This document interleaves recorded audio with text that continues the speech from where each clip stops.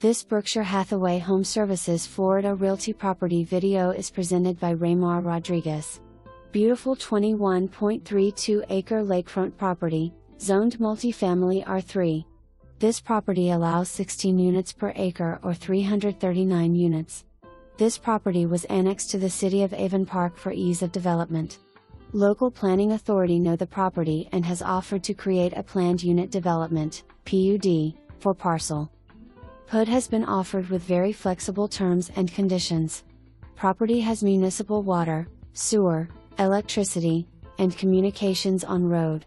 Property has road access via various entrance points on the East Claradge and via Shore Drive.